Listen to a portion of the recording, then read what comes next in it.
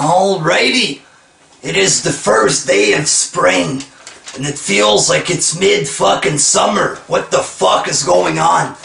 I now believe in global warming. It's like 30 degrees Celsius. I don't know, that's like 400 degrees American or whatever. It's fucking hot, motherfuckers. Very fucking hot. It's hard to deny global warming when it's hot like that. Moving on, it's time for my first Raw review on Wrestling Jesus V. Alright, so it starts off with a Jericho and Punk promo. Punk was complaining that Jericho called his father an alcoholic. I couldn't help but think that Punk's promo power was going down. Way down. Then Jericho appears on the Titantron and he said that Punk's sister was a drug addict. This was like the reverse of when Punk used to call everybody drug addicts, etc. I loved it. Punk said a bunch of swear words to try to impress people. He now has to say a bunch of swearing just to get a little reaction. Promo power down. Uh, yeah. Then Kane defeated the Big Show in like a minute because of Cody Rhodes or whatever. Big Show versus Cody Rhodes at Mania, for me at least, two thumbs down. I mean, Big Show versus Rhodes. Who the fuck cares? That might be the least cared about Mania match of all time. The match would last two seconds. One, that would be it, okay? Then Otunga defeated Santino in 30 seconds in the throwaway semi-jobber match. The Rock cuts a promo. He's next to the statue of Rocky, saying he's gonna shove sandwiches up John Cena's ass, etc.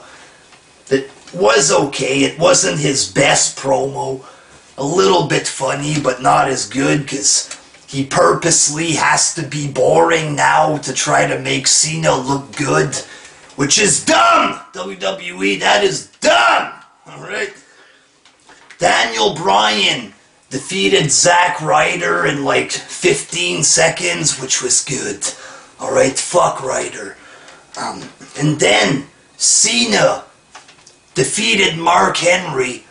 Match was decent. You see what they did?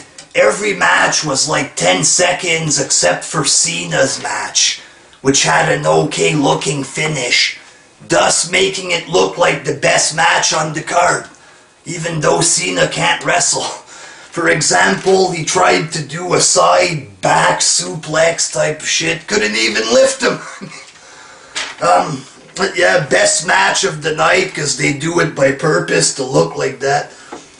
Sheamus defeated The Miz. Swagger and Ziggler of Team Johnny defeated R-Truth and Kingston, and I fully support Team Johnny. Anybody who wants uh, Teddy, Teddy, or I'm fucking forgetting his name there.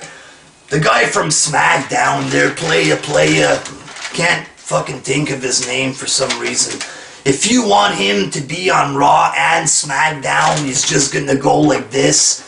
That won't compare to Laurinaitis with all his crazy antics, alright? So I'm Team Johnny all the way, and I want him to be in charge of both Raw and SmackDown. Teddy Long, God damn it, that's his fucking name. Then it finished with a Michaels, Taker, and Triple H promo. Uh, I'm the game. I've been in 19. We've both been in 19 cage matches. I'm the game. Then Taker responds, Mmm, are you ready to walk the line? The line of cocaine. Mmm. Then Shawn Michaels, Oh, there, freak it, Shawn Michaels. Shawn Michaels doesn't go like that, but whatever. So uh, an okay promo to finish it there, but the most biggest part of the show there, the most fucking craziest thing that happened.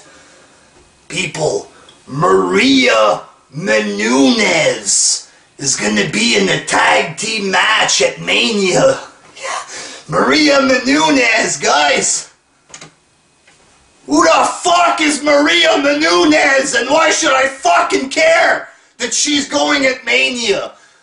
Last year you had Snooki in the throwaway match. Okay, it's Snooki. Now you got some schmuck ass bitch called Maria Menounos. Who the fuck cares? Nobody! Uh, nobody! Alright, until next time, peace.